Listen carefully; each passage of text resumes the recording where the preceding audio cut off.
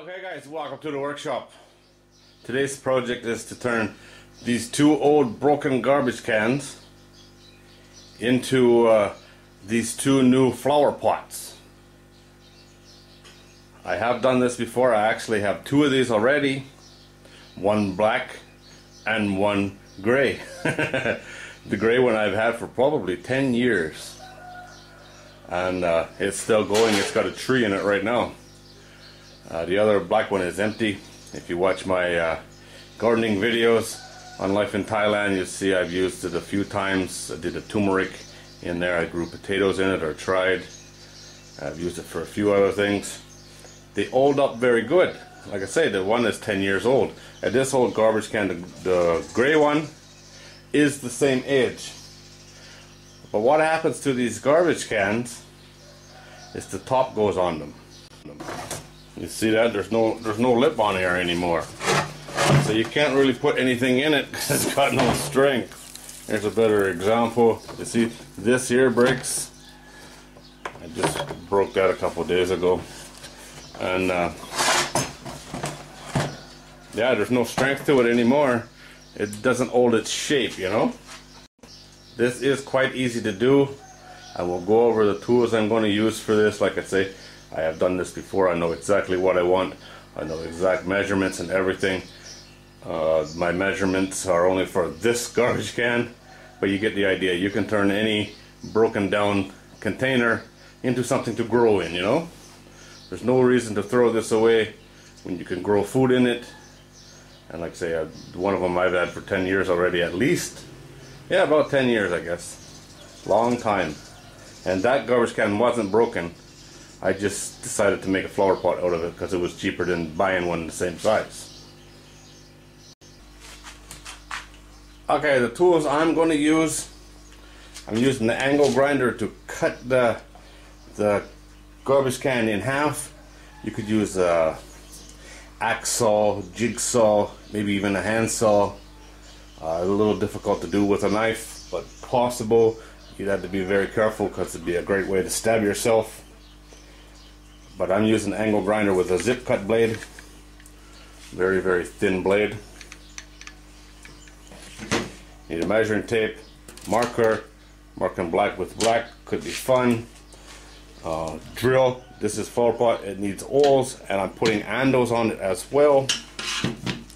I'm going to use this rope and some old garden hose to make the andos. Like I said I have a pot to go off of so this is going to go pretty easy. No experimenting here. That part's already done and proven and proven that it works.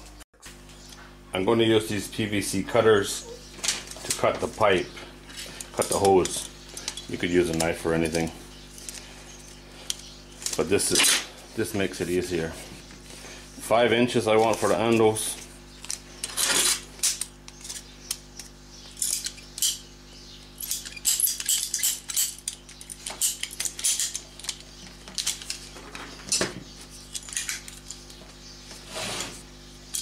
does not have to be even close to perfect, but you know, perfect is acceptable.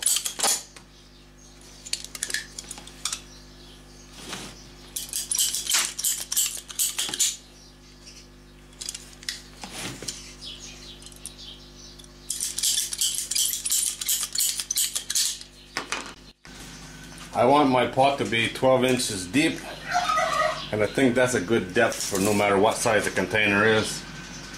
Uh, that's plenty of soil for just about everything.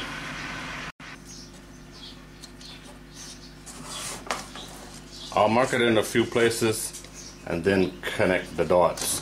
Okay, this thing, because the rim is going on it, it's very hard to work with. It's so flipsy, flimsy. I'm just going to go freehand.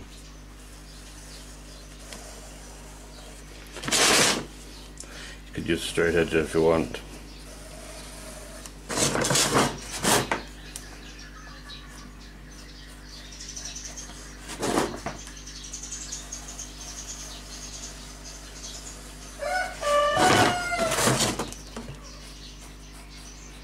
I wonder how many people was complaining about the rooster. I'm sure someone is.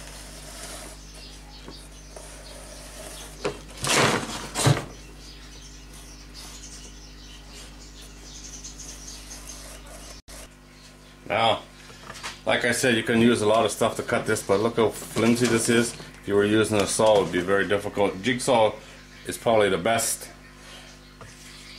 if you don't have one of these.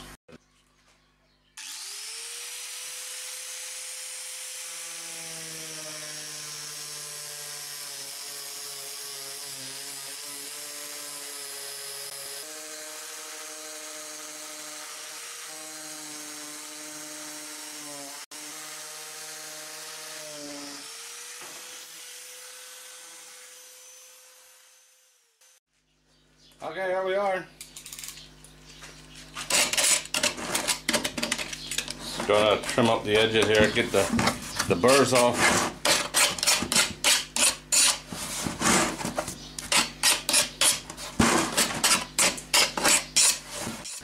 Now, the only other thing to do is put the holes in the bottom, which is very important, and uh, the handles, which is not that important but it sure makes it a lot easier to move it. That is for sure. I'm going to drill these out with, uh, I think it's 3 8 drill bit, 3 8 of an inch. It's the biggest one I got. We'll poke a bunch of holes in the bottom, uh, handles on both sides. No rhyme nor reason to how I do this, although as you can see the bottom, you know what I mean? So you can either go, this would be the low point right here, or you can have it, put it on the high point, so you got water always a little bit of sitting in the bottom, which is not bad. It works almost like a reservoir, only just, you know, quarter of an inch, five, six millimeters deep. I went right through this part last time. We'll put one right in the middle.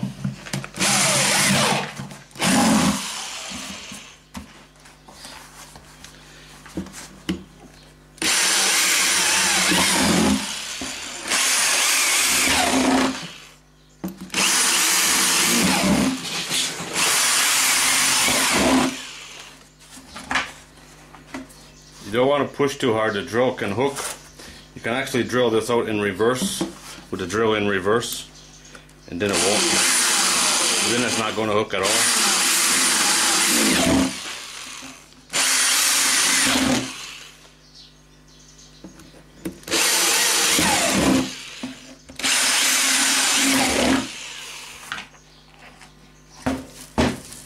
That'll do it.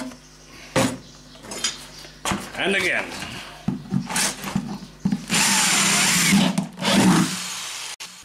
Handles. Opposite of each other, obviously.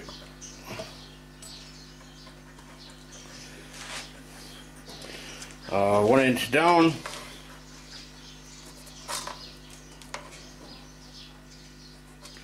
And three and a half inches of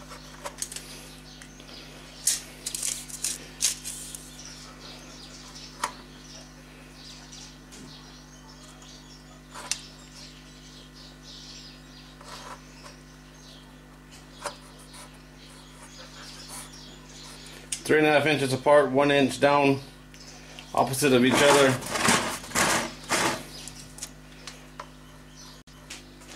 Now what I'm going to do is uh, I got a piece of wood in here, something because this is so flimsy. I'm going to drill right into the wood.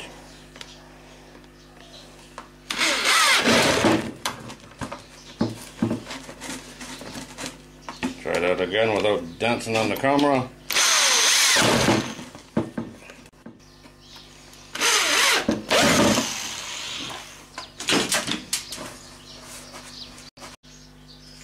Okay, let's make the handles. So what we're going to do, we're going to put our rope through here and then put our piece of garden hose on there, which is optional. I don't think the handle is optional. I think you really got to have the handle. And you tie it on the inside. Tie it on the inside. I use a double overhand knot. Make a loop like that. one through, one through. By using the double knot, it's just bigger around, that's all, and less chance it's going to pull through the hole. Push it up tight. You want to leave the end out an inch or so, three quarters of an inch, something like that. If you leave it really long, it's just going to get in your way and you're not going to be too impressed with it. Run it through, figure out how long you want it. You know, I like something like that, works for me. Now we need some extra for the knot. We'll go that much. Cut the, the rope. Against a piece of wood is always best for cutting rope so you don't get a frayed end. Got a perfect straight cut there. Makes it easy to melt. It's always best in my opinion. If you've seen my rope tutorial, not tutorial videos, it's always best to burn the end of the rope. Melt the end of the rope. Especially nylon rope. It'll fray out and cause you all kinds of nightmares. But like that, like, should never be a problem. now we'll do a double overhand knot on the other side. So we're going to bring it up as tight as we can. Make our loop. Through that loop. Back and around and through it again. Tighten it up. Got our little nub sticking out. Pull it tight. Boom.